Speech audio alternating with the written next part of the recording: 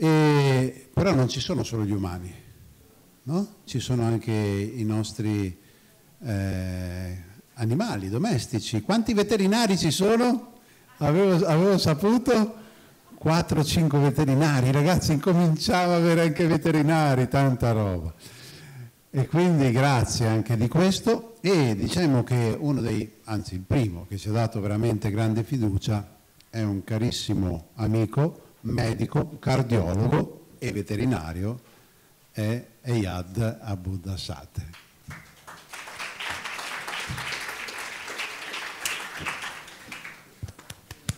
Grazie. Intanto.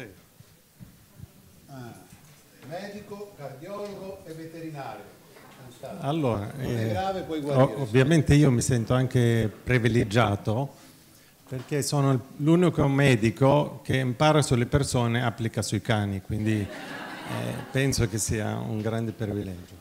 Dire... Perché S-Drive l'ho eh, ho iniziato a utilizzarlo prima nelle persone e poi quando è uscito ho iniziato a utilizzarlo negli animali e effettivamente eh, diciamo che eh, una, vi racconto una cosa, diciamo, una volta una notte, stavo facendo la notte in clinica, mi portano, eh, arriva alle 4 di mattina, arriva una persona con un cane, lo mette sul, sul, sul tavolo, mi prende di qua, cioè questo cane cioè, era morto, no? Mi prende da qua e mi dice, tu che sei di Nazareth fai qualche cosa, no?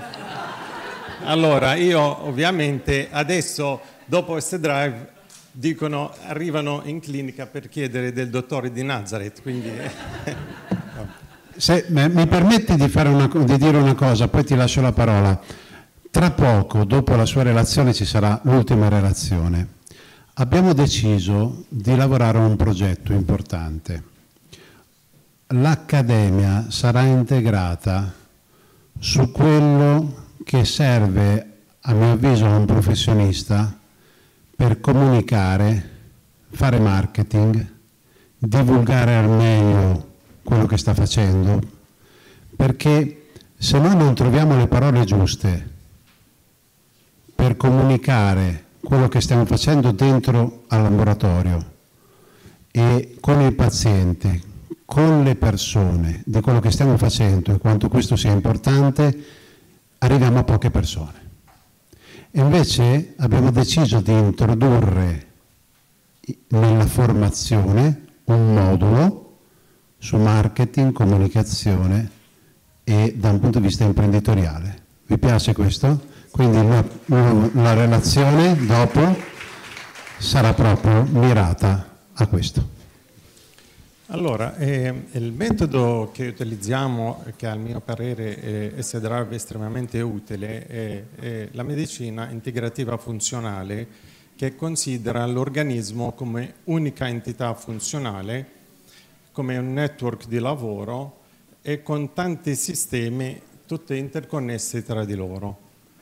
Questo è il più tradizionale di, delle, delle, divisioni dei sistemi della medicina funzionale. Divise, divide l'organismo in sistema gastrointestinale, comunicazione, distribuzione, cardiocircolatorio, detox, eh, energetico. Ovviamente energetico anche il substrato, il, eh, il mitocondrio, quindi tutte, tutto quello che dipende da questa sfera, e l'integrità strutturale. Il sistema immunitario sta al centro di tutto. Ovviamente eh, S-Drive, eh, purtroppo quest, questa pagina in veterinaria non c'è, cioè nel report di veterinaria non c'è, però una, eh, funziona nella stessa maniera. Alla fine noi abbiamo un sistema, eh, tanti sistemi che girano intorno al sistema immunitario quindi eh, diciamo che direi che questa forse è la pagina eh, più importante al mio parere del report, eh, insieme a quella precedente. Quindi noi abbiamo questo sistema immunitario che deve essere sempre in equilibrio. Ovviamente il sistema immunitario eh, agisce, eh, agisce eh, in una, diciamo, manda eh, certe eh, cellule per agire a secondo il tipo di insulto che arriva e il suo, eh, diciamo, lui funziona perché dovrebbe fare la restituzione di integrum, riportare il tutto in equilibrio. Quindi eh, dovrebbe, né, né deve essere troppo né deve essere troppo poco. Il tutto, e questo è veramente negli ultimi anni, abbiamo capito che il microbiota che sta a livello intestinale e praticamente funge un po' da, eh, da Ministero della Difesa. Quindi lui è informato di tutto quello che succede a livello immunitario.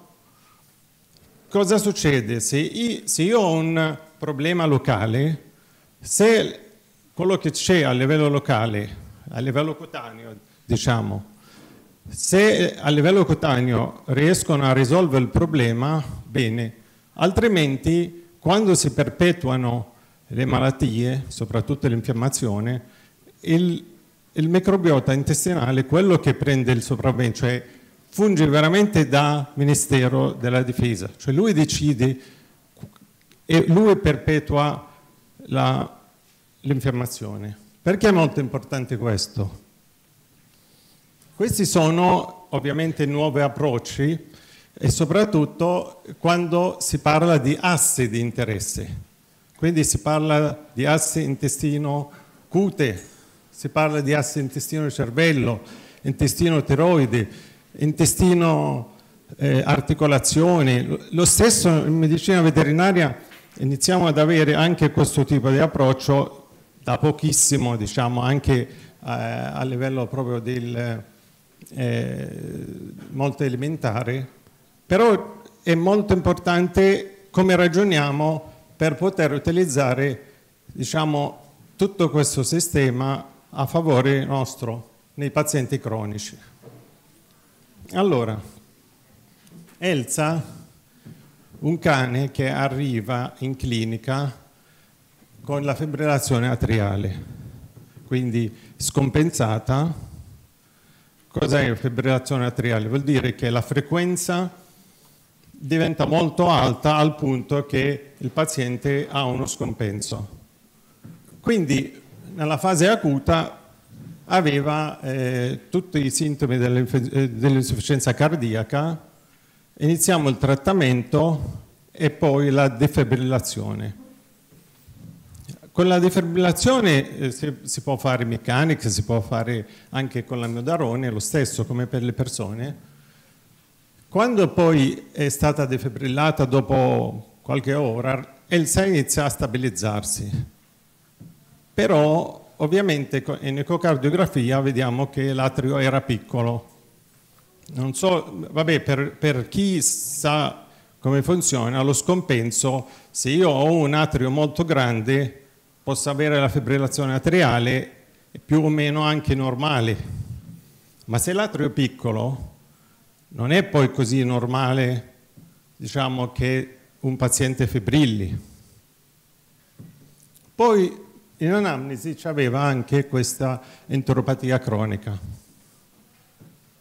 Queste sono le analisi nella fase acuta, quindi c'erano anche interessamento epatico, le fruttosamine erano alti, le fruttasamine le utilizziamo un po' come viene utilizzato eh, eh, l'emoglobina glicata, cioè quella che indica la glicazione.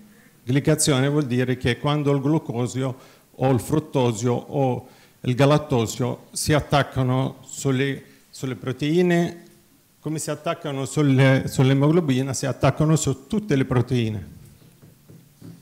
Poi i segnali acuti, diciamo, con proteina C reattiva. Allora, quando si stabilizza, mand l'abbiamo mandata a casa, dopo qualche giorno viene e facciamo questo test S-Drive. Ovviamente in anamnesi avevamo problemi intestinali cronici. Quindi io una lettura che possiamo dare all'S-Drive in questa maniera. Se io ho una, una resistenza posso interpretarla una disbiosi intestinale. Severa, probabilmente a Elsa era anche una candida. Poi, quando mancano i minerali, possiamo parlare di monotonia nutrizionale. Ovviamente negli animali eh, sono noi molto esagerati. I cani, I cani e i gatti, la nostra alimentazione è estremamente esagerata. Cioè ormai diamo quasi tutti mangimi. Quindi voi immaginate il mangime, diciamo, eh, raccoglie tutto quello di male che c'è nell'alimentazione, cioè alimentazione industrializzata. Se non è il primo, sicuramente è il secondo problema di patologie croniche. Utilizzo di eh, grasso di origine vegetale, grassi polenzatori di origine vegetale, la seconda causa. La terza causa sono i carboidrati e soprattutto eh, negli animali dove sono carnivori. Quindi ovviamente questo è il, i nostri problemi molto esagerati. E questo è molto interessante vedere i cani e i gatti che vivono i nostri problemi ma in modo molto più esagerato. Cioè, interessante da un punto di vista diciamo, scientifico, non, non che è bello, brutto, però è interessante da un punto di vista scientifico.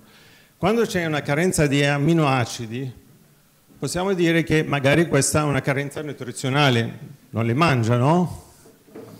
Può essere eh, enteropatia proteino disperdente, se c'è l'infiammazione, la prima cosa che non vengono assorbite le proteine, non vengono assorbite, vengono perse, ovviamente con certi tipi di infiammazione oppure sindrome nefrosica può perderle a livello renale. Queste sono le tre cause. Antiossidanti, carenza nutrizionale, aumento di eh, produzione di eh, radicali liberi, stress ossidativo e quindi comunque qualche cosa che dipende dai mitocondri e dal sistema energetico. Vitamine, carenze nutrizionale, disbiosi intestinale e polimorfismi. Ok? Allora, si, cosa si deve andare a cercare nel paziente cronico? Si deve andare a cercare, uno, le strutture, la, la, la, le strutture subcellulari più importanti sono la membrana cellulare, il mitocondrio, il genoma, l'epigenoma. I meccanismi subcellulari più importanti sono infiammazione cronica, insulino resistenza. Allora, nella nostra epoca per noi credo che rappresenti più o meno il 70-80% delle cause di malattie, queste due, che poi uno porta all'altro. Stress ossidativo, glicazione, autofagia e metilazione. Questi sono i meccanismi subcellulari più importanti. Come, come si può diagnosticare, cioè come si deve diagnosticare un paziente cronico? Le analisi tradizionali possono essere d'aiuto, però dobbiamo capire che nella maggior parte sono per il paziente acuto. Poi la visita clinica, anamnesi, ovviamente S-Drive molto utile, quindi un test di diagnosi. Possiamo utilizzare tutto quello che abbiamo come eh, diagnosi per immagine avanzata, ecografia, risonanza, TAC, endoscopia, tutte queste informazioni poi vediamo come si possono utilizzare. Poi ovviamente ci sono tutti i nuovi test dal microbiota all'analisi della proteomica, eh, eh, tutti i metaboliti a livello intestinale, a livello eh, a livello ordinario. Quindi ci sono tantissimi test che possono essere utili. Ma la cosa più importante, credo, sono i primi, perché questi si incrociano, si possono utilizzare tutti insieme per cercare di aiutare il paziente. Allora, Elsa aveva questo quadro gastrointestinale, quindi eh, espessimento della parete intestinale, prominenza della sottomucosa, rallentamento dello svuotamento, cioè tutti segnali di un'enteropatia tendenzialmente cronica. No? Questo intestino ovviamente Queste sono informazioni, al mio parere, estremamente utili, perché questo io non devo andare a scoprire che c'è l'ikigat, ce l'ha, punto.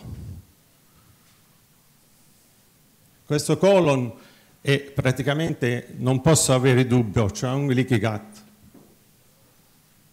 Quindi poi decido quali sono, cosa voglio ottenere io, cosa voglio lavorare. Voglio cercare di capire perché ha fibrillato e come posso fare per far sì che questa fibrillazione non viene più, senza ablazione ovviamente. No? Che... Quindi le strutture eh, subcellulari più importanti che volevo indagare sono eh, il mitocondrio e l'epigenoma, e i meccanismi subcellulari e l'infiammazione cronica, stress ossidativo e glicazione e, e sostenere il sistema detox eh, o il piano integrativo, piano alimentare, eh, nutraceutica, tutte queste cose. Quindi si parte sempre dall'asse intestino-cuore, ok? Che parte tutto dal, dall'intestino, sempre dall'intestino. Tutte le malattie o partono da lì o comunque viene coinvolto l'intestino. In qualche modo è sempre coinvolto l'intestino. Quindi quando abbiamo finito con l'amiodarone, cioè, ovviamente si poteva dare a vita l'amiodarone.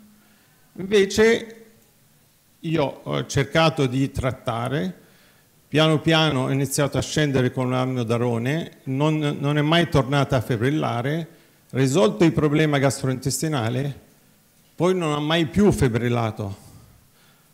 Ovviamente Silvia sa quanto spesso questo è un grosso problema anche nell'uomo, quando fibrillano, ciao, o ti, ti, ti mandano a fare la, eh, l'ablazione oppure spesso secondo me basterebbe andare in questa direzione e molte ablazioni possono essere magari, eh, cioè, magari evitate.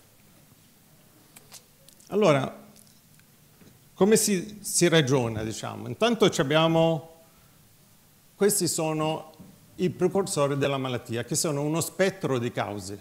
Cioè, abbiamo detto da stamattina tantissime cause. Tutti, tutti sono cause che possono influenzare i nostri mitocondri, genoma, epigenoma, cell eh, membrana cellulare e tutti questi meccanismi eh, subcellulari. Come si può curare? Allora, con i farmaci, noi qua non possiamo fare niente.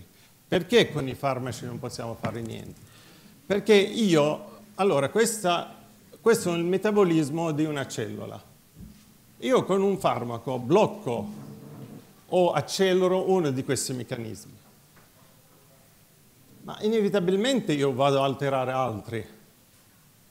Cioè non è possibile attraverso l'agopuntura, la, eh, la, la, socializzazione, eh, la iperbarica, l'integrazione, l'attività sportiva, la chirurgia, il digiuno, qualsiasi cosa di questi, perché c'è chi lo sa usare meglio che peggio, ma tutti questi meccanismi, tutti questi possono creare l'omeostasi che noi vogliamo cioè l'autoguarigione. Perché noi dobbiamo cercare sempre l'autoguarigione, perché è inutile pensare che su quei meccanismi veramente siamo così fenomeni da riuscire a, con, un giorno anche, con i farmaci a guarirli, a guarire, non a togliere i sintomi. Perché a togliere i sintomi, a salvare la vita, serve il farmaco. Perché se il mio paziente ipoteso, se Elsa arriva eh, senza essere defibrillata, muore. Cioè, inutile, cioè, la medicina non è che... Eh, cioè, l'S-drive lì non mi serve a niente. Però se io, dopo, dopo che ho finito di, la defibrillazione, dobbiamo poi pensare cosa avviene, perché ha fibrillato. E quindi puoi andare lì a cercare di risolvere il problema alla base e sempre con l'autoguarigione, perché il nostro organismo lui ha la sua resilienza, la capacità vitale, tutto quello che c'ha tutto lui. Noi dobbiamo solo sostenerlo. Lo possiamo sostenere con l'ossigeno, lo possiamo sostenere con, con quello che vogliamo, quello che sappiamo fare, ma comunque perché c'è l'autoguarigione. Allora, Gaia, Gaia è un altro cane che arriva perché ha questo atteggiamento, no? Questo atteggiamento da preghiera, dolore addominale nella parte anteriore, diciamo. Comunque era sempre depressa, aveva vomito cronico, aveva tutti i sintomi gastrointestinali cronici. E aveva anche Questa, questa, è l'ecografia di Gaia, no? Questa è eh, stomaco intestino quadro compatibile con gastroenteropatia infiammatoria di grado moderato da causa da instabilire fegato ridotto di volume. Questi sono gli acidi biliari urinari. Agli acidi biliari la bile viene prodotta dal fegato, finisce nell'intestino, poi dall'intestino attraverso la vena porta ritorna al fegato quindi il ciclo enteroepatico. Se la troviamo nelle urine, in questa concentrazione, vuol dire che c'è un'insufficienza epatica. In effetti, anche ecograficamente, Elsa aveva un problema epatico, perché il fegato era piccolo. Questa è l'estologia, perché ovviamente aveva una sintomatologia molto molto grave, però alla fine dice che c'è una displasia microvascolare, cioè a livello arter- arteriovenoso non c'è una comunicazione a livello microvascolare. Ovviamente questa eh, la possiamo vedere solo istologicamente. Quindi questa poteva essere anche un problema congenito. Cioè questo non è solo... Allora, diciamo che nella maggior parte dei casi questo è un problema congenito, però può essere anche acquisito perché quello che si vede è che queste vasi non comunicano. Quindi certa infiammazione e l'infiammazione a livello vascolare inizia sempre a livello microvascolare. Tutte le patologie vascolari iniziano a livello microvascolare. Allora, questo è l'S drive di Elsa. Ovviamente sempre utilizzando, allora, perché troviamo sempre minerali? Cioè, allora, tutte queste, le, le carenze di minerali, e per forza devono avere carenza di minerali. Se le diamo la crocchetta per dieci anni, la stessa, o poi attenzione, ancora le cambiate perché poi le viene la diarrea, per forza le viene la diarrea. Dopo che gli detto tutto questo tempo non c'è più niente, livello, non, non, riesce più a assorbire nient'altro. Cioè, eh, ripeto, è, è, è veramente se noi vediamo eh, l'alimentazione di cani e di gatti, allora, i gatti per esempio, eh, i gatti iniziano a non mangiare per dire la carne o il pesce perché vogliono avere un mangime. C'è un gatto che non mangia il pesce, cioè deve essere da spavento. Un gatto che ha un diabete è una cosa, cioè un carnivoro che diventa diabetico c'è una cosa ehm, assurda, no? Eppure, oppure sono patologie che ormai sono sempre più frequenti. Il cane, eh, cioè, il cane se gli diamo un pochettino di zucchero una volta, non puoi più mangiare a casa qualche cosa con zucchero, perché lo senti pure se sta dall'altra parte della casa, ti viene che vuole qualsiasi cosa, perché, c'è dipendenza da zucchero, no? E quindi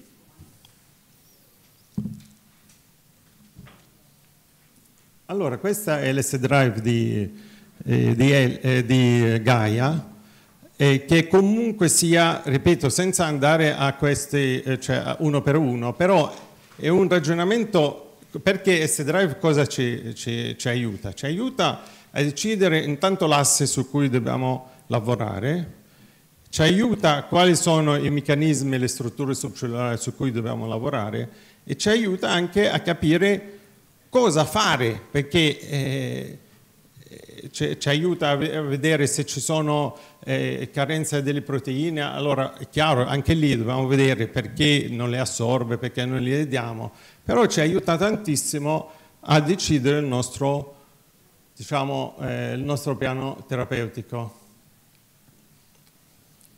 Questi sono la via, l'asse, diciamo, l'asse intestino-fegato. No? Il fegato produce la bile, ovviamente la bile arriva, arriva a livello intestinale che ha due funzioni. Una è proprio la selezione del microbiota. Eh, una parte del lavoro del, del, della bile a livello intestinale è quello di fare selezionare certi tipi di batteri. Se, se, il nostro asse intestino-fegato, se questo fegato non funziona bene, è chiaro che io ho problemi. Allora, bisogna vedere se i problemi intestinali hanno dato problema al fegato o il fegato che ha dato problema a livello intestinale. Ma non ce ne frega tanto se stiamo aiutando per migliorare le condizioni. In effetti Gaia basterebbe, bastata veramente cambiare l'alimentazione ed è un altro cane Quattro anni di calvario, non riusciva, cioè, eh, la diarrea un giorno sì, un giorno no, vomito un giorno sì, un giorno no. Poi cambiata l'alimentazione, integrato qualche cosa, è proprio un altro cane. Ti chiamano e ti dicono, eh, magari accontenta. Eh, meno male. Un fegato così, non ho bisogno di andare a vedere, cioè un, un fegato steatosico, non ho bisogno di dire che questo fegato, eh, cioè che, che, questo paziente dovrebbe avere problemi a livello gastrointestinale, per forza ce l'ha. Se sia un uomo, se sia un cane, c'hai problemi a livello gastrointestinale, perché un fegato intasato di, di, di grasso in questa maniera non può produrre la quantità di bile giusta, non può funzionare bene, non può detossificare come deve detossificare, non può fare il suo lavoro a livello metabolico come lo fa. Quindi, cioè, cosa devo ancora andare a cercare? Se non lavoro qua, prima, poi è chiaro che dopo possiamo andare a vedere tutto quello che vogliamo, ormai ci sono metabolite, cioè a livello urinario ci sono ormai 70 metabolite, io cioè, il, il, il, test eh, diciamo, di, delle metabolite urinarie, cioè lo amo, però alla fine quando deve entrare nei particolari per quel paziente che non si è riuscito poi ancora a risolvere il problema, ma se iniziamo a lavorare qua, è chiaro che questo magari nel 80-90% dei casi risolviamo. Questo è insulino resistente, se sia un cane, se sia un gatto, se sia... Ah, insulino resistenza, la posso già scrivere, la posso già scrivere nel referto, questo paziente è insulino resistente. Sicuro, non ho bisogno di andare a fare il test, questo già è insulino resistente. Allora, se inizia a fare questa Aspetta. Allora, se abbiamo questo fango biliare in questa maniera, è chiaro che questo è una marmellata, questo non scende dal, da, dal coledoco. Quindi poi c'è infiammazione della colicisti e poi quello magari diventa poi i calcoli, no? I calcoli e poi togliamo la colicisti. Eh, vabbè, ma... No? Si può lavorare prima. Allora, c'è tempo? Allora, Romeo, Romeo è un cane che aveva le crisi epilettiche o le crisi semilepeletiche. 5 minuti, eh? Vabbè, facciamo questo, poi basta. Aveva molti problemi comportamentali, si esulava, stava sempre triste, eh, certe volte, eh, diciamo, eh, la, la, la padrona sempre molto molto eh, preoccupata per, per, per, lui perché è sempre triste, non, non partecipava mai alla vita, diciamo, e, e quindi preoccupata, eh, andata da, da, tutti, gli cambiavano mangime, no? Cosa facciamo? Cambiamo mangime, per, bene, cioè, cosa hai cambiato? Non hai cambiato niente. Allora, anche lui aveva gli acidi biliari alti. Allora, i cani di razza piccola possono avere una cosa che si chiama shunt portosistemico, soprattutto quando sono giovani, cioè il, i vasi arrivano a livello, diciamo, tutti i vasi, eh, tutto il sangue si raccoglie nella vena porta, entra nel, dal, dai visceri, dall'intestino, si raccoglie, entra dentro la, la, il fegato e poi dal fegato diventano vene sovraepatiche e vanno. Allora, lo shunt portosistemico, quando un vaso si stacca e va dalla vena porta direttamente alla cava, bypassa il fegato. Okay? Eh, questo è estremamente diffuso, una patologia molto diffusa nei cani di piccola taglia soprattutto, parvoncini, maltesi, così via. Quindi dobbiamo, quando troviamo questo, questo esame, ovviamente dobbiamo indagare se ce l'ha, eh, eh, si può indagare con l'ecografia, eh, ovviamente non aveva nulla riferibile a questo shunt, però aveva tutto un quadro gastrointestinale cronico, tutto, cioè sempre patologie diciamo intestinali. Quindi eh, le fanno la risonanza e gli danno il Kepra, un farmaco per bloccare le crisi epilettiche. Inizia ad avere dei problemi gastrointestinali e quindi lo tolgono eh, problemi e sta molto male gastrointestinale, quindi me, me lo portano e le faccio il test S-Drive e inizio a lavorare at attraverso il test, sempre inizio a lavorare, quindi sempre questi, questo mio eh, meccanismo che utilizzo, poi inizio a dire, vabbè, ok, inizio a lavorare sull'asse intestino-cervello, intestino-fegato-cervello, ok? Insomma, sono passati quattro mesi adesso. Romeo non ha neanche una crisi epilettica, non ha mai pre preso più il Kepra e inizia a essere un cane più contento.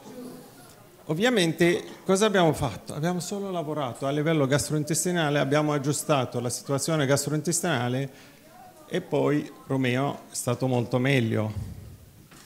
E quindi se noi lavoriamo con al mio parere non cambia niente come si dovrebbe lavorare nelle persone, non cambia niente. Tutte le patologie croniche si può lavorare tranquillamente sulla, dobbiamo decidere l'asse, dobbiamo decidere quali sono le strutture, i meccanismi sul cellulare che dobbiamo andare a lavorare e poi iniziare a fare attraverso tutto quello che abbiamo visto, che sono tanti, non è che una metodica che si possono utilizzare tutti questi metodi, si possono utilizzare anche mentre stai facendo farmaci, quindi nessuno ti impedisce di andare a cercare la causa della malattia cronica e di andare a, ovviamente, a risolvere il problema alla base. Insomma, penso che... Eh, i risultati, oltretutto, eh, eh, poi nel, negli animali i risultati arrivano veramente molto presto perché basterebbe veramente cambiare l'alimentazione e cambia tutto. Come i bambini, cioè, no? Noi, noi, abbiamo, noi abbiamo 100% di cani e di gatti hanno patologie gastrointestinali. Non uno, non due, non dieci, 100. 100% degli animali hanno patologie croniche a livello gastrointestinale. Quindi le patologie croniche, cioè magari, vabbè, questo poi vediamo.